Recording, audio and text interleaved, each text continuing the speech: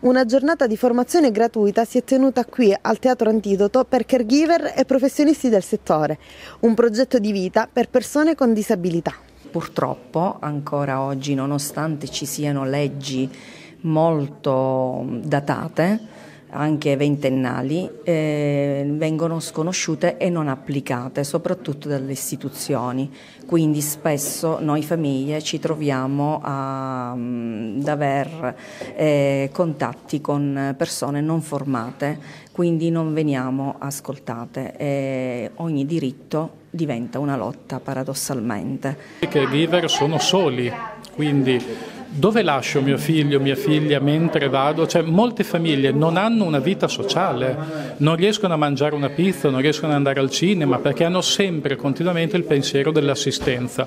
Quindi questi numeri, anzi sono numeri anche grandi, solitamente io mi ritrovo anche dei numeri inferiori e questo è un peccato. Qui stiamo registrando tutto in video e in audio e lo metteremo a disposizione per chi non ha potuto partecipare. È una giornata eh, ricca, è una giornata importante eh, che ci mh, mm, sta in un eh, certo modo mh, mm, fornendo gli strumenti o comunque le informazioni adatti per appunto il progetto di vita che, risulta, che è la, la cosa più importante eh, che riguarda le persone con disabilità e quello che porta eh, insomma, è finalizzato appunto al, um, all'indipendenza dei, dei, nostri, dei, nostri, figli eh, ed è una cosa fondamentale per noi caregiver.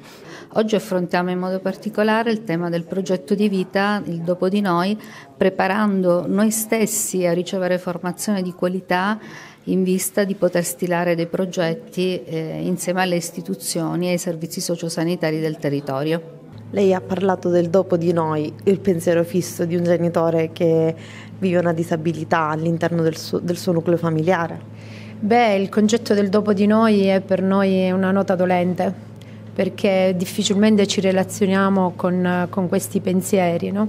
perché sono già dei pensieri di sofferenza. Dover pensare un giorno di dover lasciare i nostri figli eh, significa mh, mm, affidarli completamente alle cure di qualcun altro.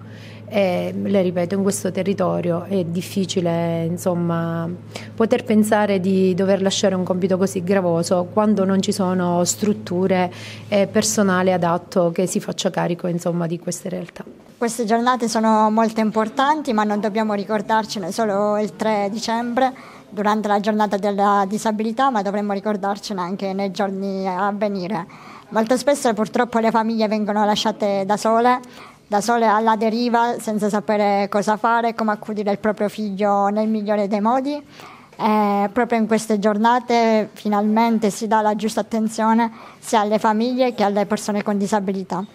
Io fortunatamente ho avuto uno strumento molto importante che è quello dei social, ho deciso finalmente di mostrare che la disabilità non è un ostacolo, mettiamola così, va solo conosciuta e soprattutto bisogna andare oltre le apparenze e gli stereotipi perché dietro una disabilità c'è pur sempre una persona.